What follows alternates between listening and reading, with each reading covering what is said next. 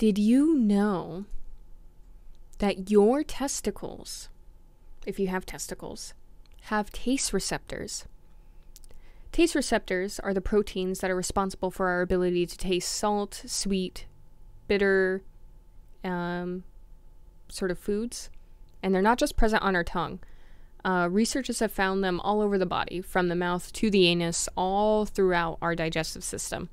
And they're in our stomachs, our intestines, pancreas, lungs, and brain. But we don't really know what they're there for. And those with testicles have taste receptors on them. It's very interesting.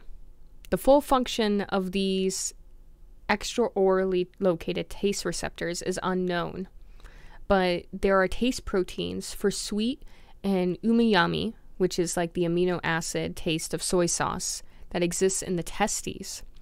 And they found that this plays an important role in mouse fertility.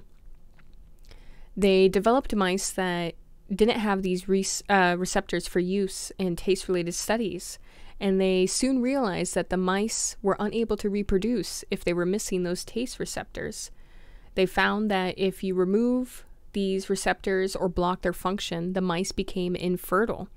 They become sterile, their sperm count became low, and their spermatozoa were not developed properly. So, The drug that they use to block the taste receptors is a class of drugs that are being used to treat high blood cholesterol in humans, and it is found that these drugs might be interfering with human fertility. It's very, very interesting.